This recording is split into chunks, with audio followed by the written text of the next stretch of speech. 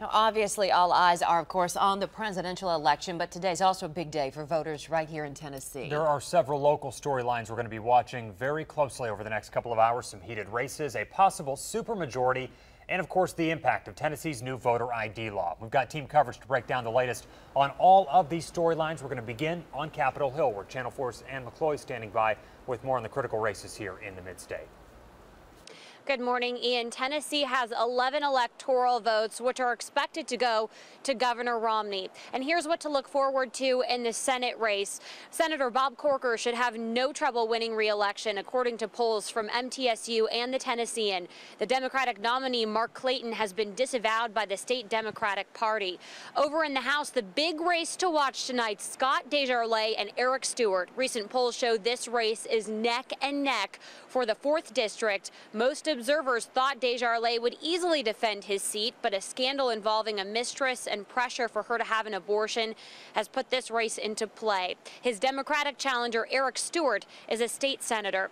Congresswoman Marsha Blackburn is almost certain to win re-election. She does not have any big-name opponents, and Representative Jim Cooper is also expected to easily hold on to his seat for 5th District. His Republican challenger, Brad Staats, was recently in the news for posting a gun on Facebook Facebook and telling President Obama, welcome to Tennessee.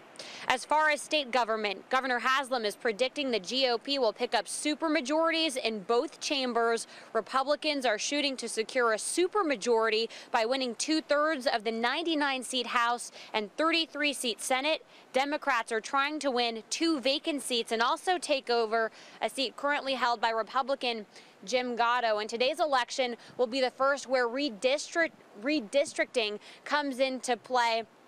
Um, incumbents are in new areas, and some are saying that the lines were drawn to favor Republicans. To let you know, the polls uh, do open in uh, just a few minutes, 7 a.m. in Davidson County, but you really need to check uh, before you head to the polls because it varies by county. Some open at 9 and some open at 8 in the morning as well. My colleague Julia Bruck is standing by at Davidson County Election Commission. She has everything you need to know this morning before you head to the polls. Well, good morning, Anne. It, it is an exciting day. It's voting day across America, and in Davidson County, the polls open now in less than a half hour. And if you plan to vote today, don't forget to bring this along, in an ID. This is the first time that Tennessee voters are going to be asked to provide an ID to vote. So here's a list of what will work at the polling sites. College IDs will not work. And if you forget your ID, you can cast a provisional ballot. You then have two days to show proof of ID. Now, if you don't have a ride to the polls, there are groups ready to help. In Davidson County, the Republicans and Democrats are offering rides. Just give them a call at the number on your screen. To cast a ballot, you must go to your assigned precinct. If you don't know where that is, don't worry, we've made it easy for you. Just go to WSMV.com. We've got all the location listed along with times as well. Most polling locations today will be opening at 7 a.m., but to be sure, just check with your county. Now, today's election will be watched closely by the Department of Justice. Representatives will be there both in Davidson and Shelby counties to monitor the election. This is a first for Tennessee. And something else to note as you head out to the poll sites today, those campaign buttons, well, they're not allowed inside, and campaign shirts, they must be covered up as well. We're live at the Davidson County Election Commission. Julia Bruck, Channel 4 News Today. All right, Julia, real quick, what should people do if they have problems when voting?